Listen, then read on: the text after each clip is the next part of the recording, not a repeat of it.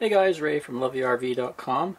So I'm working on a little project today um, involving my uh, solar and batteries. Now I installed the lithium batteries a while back. Um, got three new lithium batteries to replace the lead acid. And I've been reading up on things and really it says you can increase the lifespan of your lithium batteries by not having them come to 100% all the time.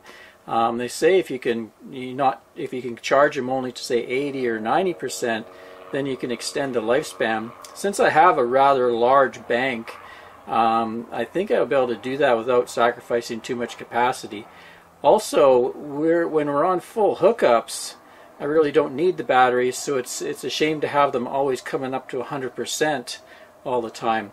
So I want to install a switch so that I can turn my solar on and off and only use it as needed. So if the batteries come up around 85%, I can just throw a switch and turn off the, the charging and let them go down and then flick it back on, say when they get down to maybe 30 or 40% capacity and let them recharge. That way they're they're working in a in a, in a, narrow, a more narrow window, which from reading um, should extend the lifespan of my lithium cells.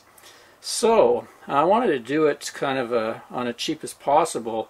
Uh, there is switches you can do. There are voltage sensitive switches and remote uh, battery switches with even wireless remote battery switches. But I found this this uh, electromagnetic switch. People use them in cars. This one so you can disconnect the battery in your car. Say your car has a problem and it's draining the battery. You can hook this thing up and then you just install a manual switch on your dash so what I'm going to do is install this next to my solar controller, feeding the, the solar panels where they feed into the solar controller. Then I'm going to install this switch next to my trimetric battery monitor that lives in the bathroom. Um, it's kind of mounted out of the way in the bathroom. Also, it's a convenient place because I'm in there multiple times a day so I can check things out, see how the, the current and voltage and, and uh, charge is going. So it'd be really simple to go in there and be able to throw this switch and turn off the solar charging. Um, this thing came with a, a, little bit of wiring. I happen to have a, a, long cable from a previous project, so I'll probably be putting about 15 feet of cable in wiring it into the switch. So really what happens is 12 volt gets applied to these terminals and then that shorts these terminals which are carrying the, the load. Um, and they're rated for 100 amps continuous and even up to a thousand um, peak. So this thing's a pretty heavy duty unit, so I don't think it'd be a problem. I only have about max 30 amps coming in there at any given time, so it should be able to handle it. Uh, one drawback will be is when it's activated, it's gonna it's gonna draw some current just to to throw the little solenoid in here. I think anywhere from a half amp to an amp, but that's not a biggie because when I'm when I'm charging, I should have plenty of amperage we'll see how it goes. But I thought I'd install that and see how that works out. I just got it set up here for a little test. This show there's a 12 volt supply.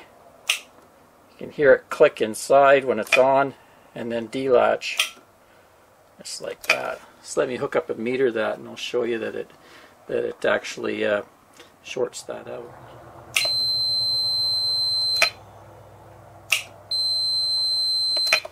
Pretty cool. So um, maybe I'll pop this apart and we'll take a look inside, see how it works, and then we'll get to installing this thing. So I just thought I'd pop the cover here, give you a look inside. See the solenoid in there.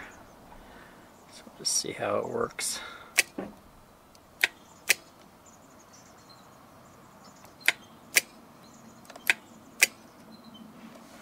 Yeah, so that just sucks this disc across the two main terminals and then releases when the 12 volts taken off of it.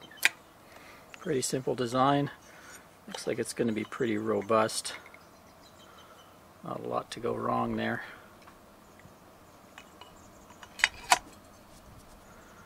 So we'll get her mounted up in beside the solar controller there and give her a test. So here's the mounting arrangement. Basically I replaced this, it was sitting there. I was using this switchable breaker as a switch to turn my solar panels on and off.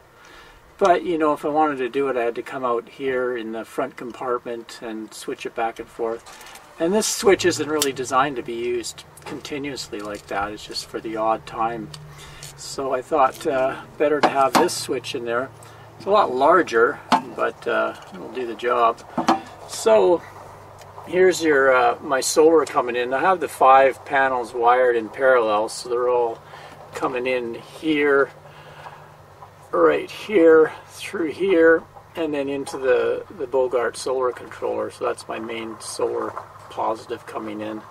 And then there's the negative wires up there. And to activate the the, the switch here the solenoid I've uh, needed 12 volt power so I grabbed it off here 12 volts right there and put a little fuse to protect the wire over to here. Then it it heads off inside and into the switch mounted by my trimetric monitor.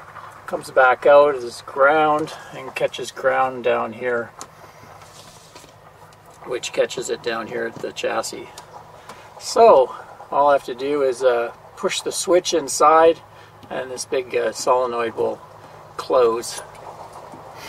Maybe I'll uh, measure what the exact current is on this to keep the solenoid closed so I know how much I'm going to be using to do that. So let me get my clamp on meter. So looks like it takes about uh, half an amp or so to uh, keep that re relay energized, so that's not too bad. Okay, so I modified my mounting to fit a little better carved out a hole for the new switch and soldered on the, the leads so this should fit right into that hole and flush mount quite nicely. Okay, all flush mounted in there. So let's just do a little test here. Right now we're uh, sitting at 95% charge. So let's go check the solar coming in. Solar, so 7.3 amps. So this switch should disconnect the solar for us. There we go, bang. So now we're no longer getting solar charge anymore. Cool. Let's try reconnecting it here. There we go.